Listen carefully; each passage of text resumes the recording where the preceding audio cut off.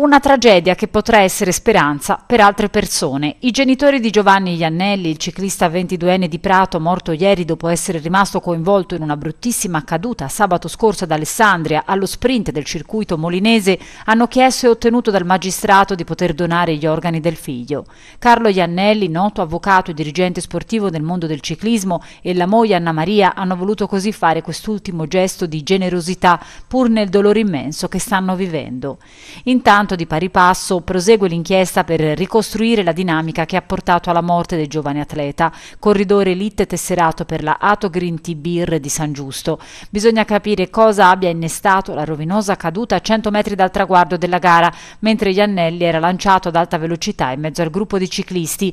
Di sicuro il giovane, dopo essere caduto, ha picchiato violentemente la testa contro il pilastro in cemento del cancello di un'abitazione e qui è da capire se gli organizzatori, che hanno parlato di fatalità, hanno fatto tutto il possibile per garantire la sicurezza dei corridori. Bisognerà poi accertare se la caduta sia stata provocata da uno sbandamento del gruppo, circostanza abbastanza normale quando si è lanciati a folle velocità verso il traguardo, oppure ad una manovra volontariamente scorretta da parte di un concorrente.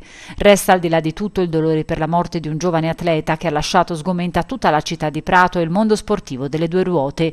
L'amministrazione comunale esprime il proprio cordoglio per la scomparsa del giovane Giovanni Iannelli e ha inviato un telegramma alla famiglia in segno di vicinanza. I funerali dovrebbero tenersi tenersi nella giornata di venerdì, ma non sono ancora stati fissati.